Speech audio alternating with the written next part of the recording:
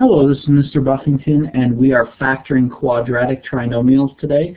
Um, we're factoring, there are two lessons on factoring trinomials, and this is a quadratic trinomial, and we're factoring it from something that looks like this into two binomials that look like that. And we'll talk about how to do that and the steps.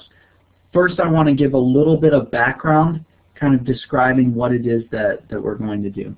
The easiest way to factor a quadratic trinomial is if you have perfect square trinomials. And those are discussed in a different lesson. If, there, if the trinomial is not a perfect square, then the next preferred method is what I'm going to show you in this lesson.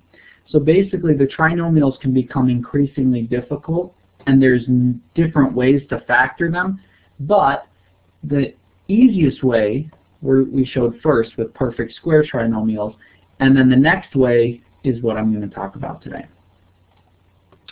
It requires that there's no number in front of the first term, so no coefficient of x.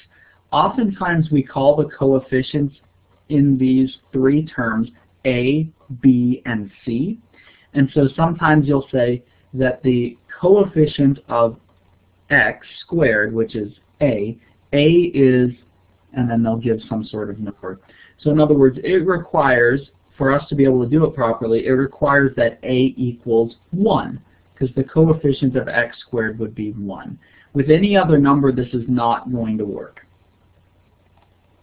So there's what we're going to be working with today. What is a quadratic trinomial? When we use big words like that, I'd like to describe what they mean. A quadratic means that it is squared, right? Quad and squared. So it, it, will usually be x squared. It could be y squared or a squared or b squared. But it's going to be a variable squared. And that's what quadratic, squared, you know, square and quad, they kind of go together. The trinomial means that it has three parts or three terms that cannot be joined together. So three terms with distinctly different variables. x squared, x and then no variable. That's basically what we're going to be looking at. So here's a perfect example of a quadratic trinomial. We're actually going to use that one to factor and get our final answer here. Let's take a look at factoring this quadratic trinomial. The first step is to list the factors of the first of the final term, I'm sorry. So we look at the final term 2 and we list the factors of that final term. The factors are 1 times 2, and we list them in pairs. So 1 times 2, and we also have to list the fact that there are some negatives as well. Negative 1 times negative 2 would also give us a positive 2. So those are the factors, the you know integer factors of our final term. The next step is that we find the sum of those factors. So we look at those factors and add them up. 1 plus 2 is 3, and negative 1 plus negative 2 will give us negative 3. So we have the factors listed on the left and the, the sum listed on the right. And what we are looking for is the two numbers, the two factors, that will add up, have the sum of the middle term, and the product of the final term. We know both of them have the product of the final term. That's how we came up with these numbers. So we really don't have to look too much at the final term.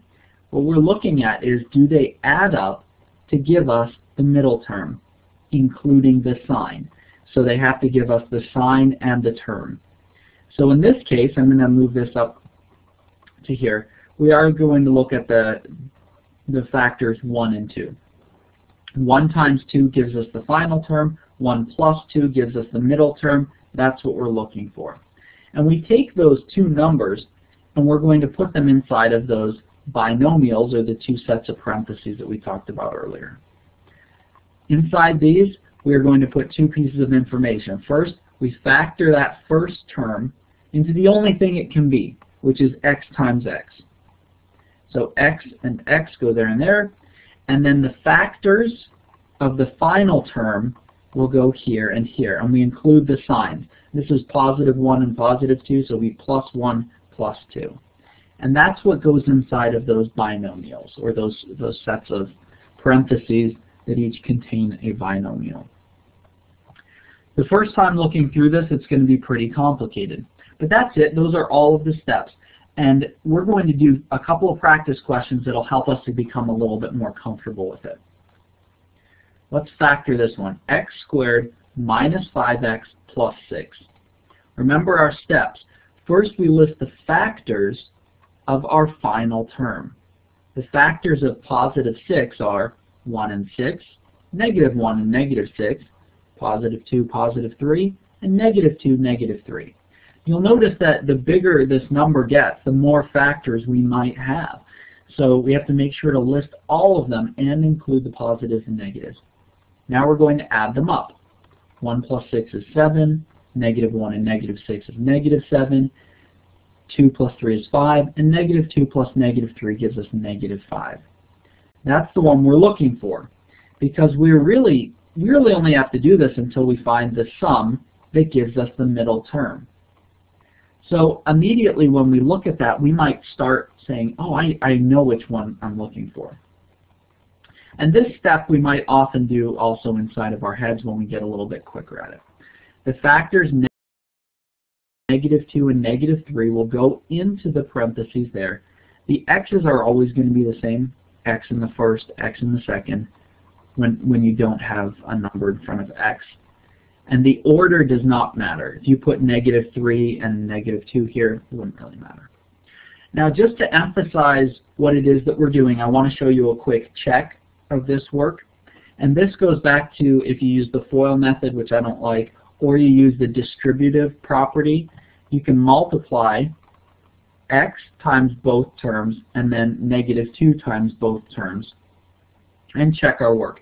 x times x gives us x squared, x times negative 3 is negative 3x, negative 2x, and positive 6 is negative 2 times negative 3 will give us positive 6.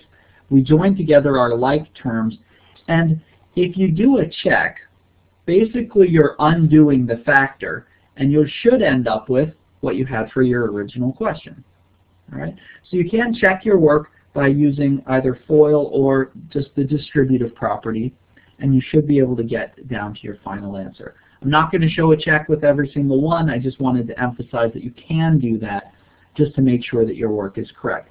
Because sometimes you might wonder with with the positives and negatives, and it might be you might want to do a check. All right, let's do one that has a really wild final term, 24.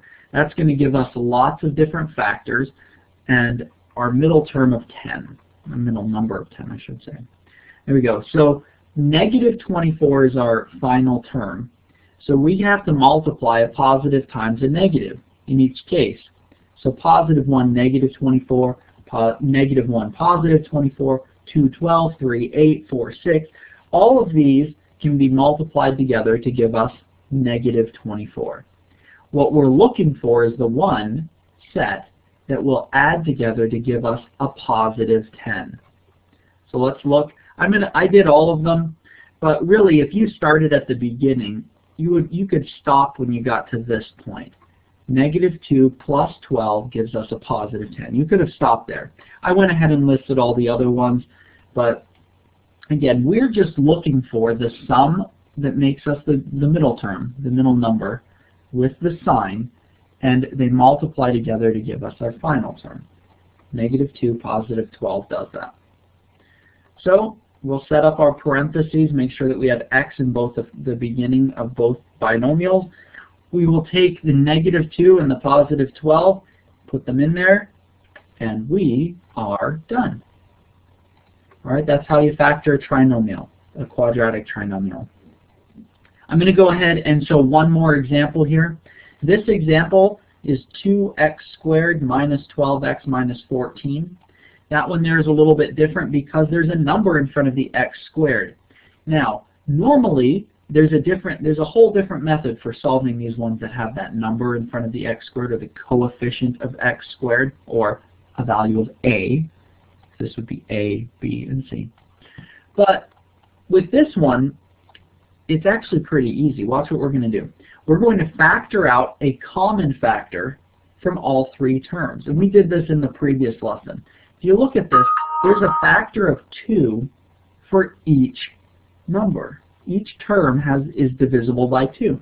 So I can factor 2 out of each term. And that leaves me with a trinomial quadratic that I can actually factor. A really nice one actually because 7 is a prime number. So the factors of 7 can only be 1 and 7. It has to be one of those two either. And because this is negative, it's either going to be 1 and negative 7 or negative 1 and positive 7. So I go ahead and find the sum for those, and I'm looking for the one that adds up to negative 6. So positive 1 and negative 7 will give me negative 6 as my sum. So I just plug those into there. In this one here, I have to remember I do have that 2 outside there. So that's part of my full answer. So it's 2 times x plus 1 times x minus 7. And if you did a check of that entire thing, like what we did before, you'll find that that gets you back to your original quadratic. Quick summary, when you're factoring a quadratic, you want to find two numbers that give you the sum of the middle number and the product of the final number. Make sure to pay attention to positive and negative signs, and this will get faster with practice. Once you start recognizing those factors, it'll become pretty quick. Also, thanks, as always, thank you for watching. Be sure to subscribe to my math channel for more math lessons. There's a whole playlist of all Algebra 1 lessons that go along with this one and work kind of in conjunction with it. There's also specific lessons if you want to just search through my channel. And I've made up a channel or a playlist of just random silly how-to videos just for your enjoyment. So keep watching, subscribe, share, and like them. Thank you so much, and have a wonderful day.